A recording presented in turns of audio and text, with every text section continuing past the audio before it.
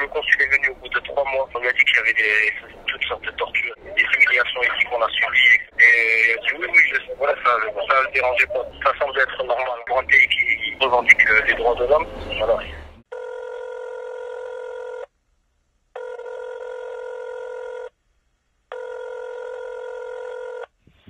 Je trouver en 2014. Je l'ai rejoint Daesh. J'avais mon beau-frère présent sur place et il me disait euh, de venir euh, ici c'est calme, tu peux vivre, la mission.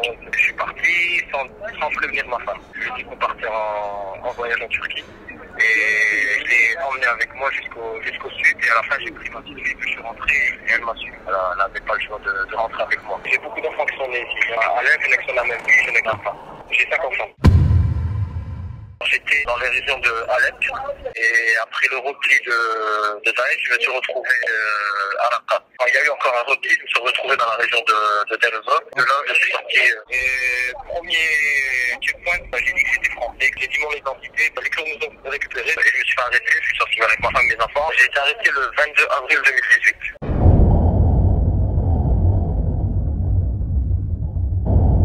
Nous avons réunis tous une prison qui est dans la banlieue de Hasaka. Personnes différentes, des personnes qui sont pas arrêtées depuis deux ans, depuis l'ACRA. Ça dépendait, des personnes qui n'étaient pas de la même date. On fait les, tout ce qui est empreintes euh, les yeux, etc. Et de là, on se fait transférer. À la frontière, toujours, on entend des voix françaises. C'est les Kurdes qui s'arrangent directement avec, euh, avec l'armée irakienne. Les voix françaises, voilà, elles n'interviennent pas dans la, dans, dans la frontière, mais ils sont là présents. On se fait livrer à l'armée irakienne durant le transfert, voilà, c'est les premières humiliations, les coups, ça c'est dans la voiture. Là, j'entends plus de voix française. On nous insulte, on nous amène dans un, euh, jusqu'à Bagdad. On se retrouve dans un, dans des locaux, dans des locaux officiels. Le lendemain, le premier interrogatoire, il était en présence des Français. Voilà.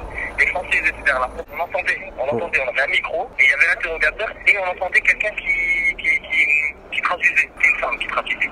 Elle traduisait, et l'interrogateur, sortait souvent.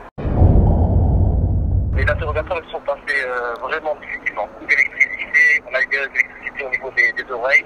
Certains d'entre nous les ont pris au niveau de- des parties intimes. Ils approchent euh, un, un appareil qui tourne pour mettre euh, la, pression au niveau des oreilles. Dès que tout le monde a fini son interrogatoire, nous avons été, transférés dans, un, dans une prison officielle. C'est la prison on est actuelle.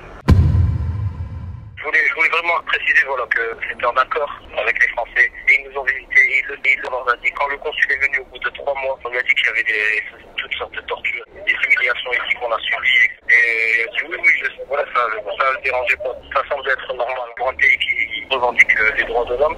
Voilà. Voilà, on me met un petit coup de pression pour arrêter. L'appelle.